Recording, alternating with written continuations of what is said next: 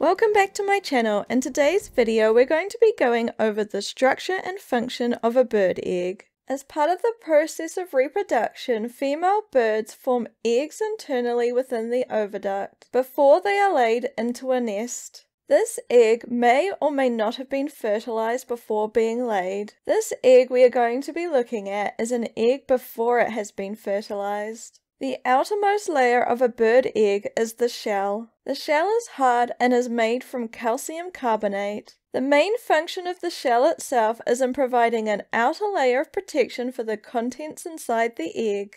The shell is porous. It is covered with thousands of very tiny pores that make it a semi-permeable membrane.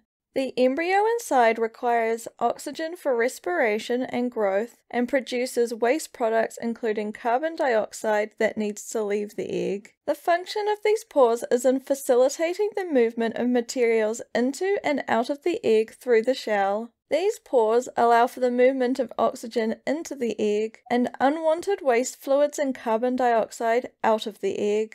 In from the shell are the shell membranes. There are two shell membranes, the outer shell membrane and the inner shell membrane. These membranes are thin films made primarily of protein. The outer shell membrane sticks tightly to the inside of the shell. The inner shell membrane is in from this. It separates from the outer shell membrane at the blunt end of the egg, forming an air space known as the air cell. The function of these shell membranes are as a barrier for protection against foreign materials such as bacteria from entering the egg. Within this membrane is a clear liquid known as the albumin. The albumin consists of water and proteins, but does not contain any fats. It is made up of four alternating layers of thick and thin albumin. The innermost layer is a thick layer known as the chalaziferous layer, followed by a thin layer, then a second thick layer, then a second thin outer layer. The albumin functions in being a supply of water and a range of different proteins to the growing embryo. It also functions in giving a protective cushioning layer and in stopping any bacteria reaching the yolk and embryo.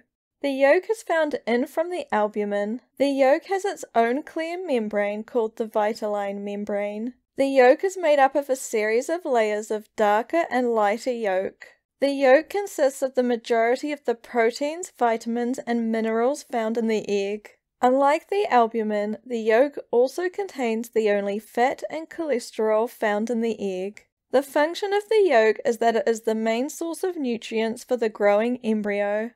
The inner layer of albumin, the chalaziferous layer, surrounds the yolk. This layer is twisted along the long axis of the egg, forming rope-like structures known as the chalazae. The chalaza function in holding the yolk in the center of the egg.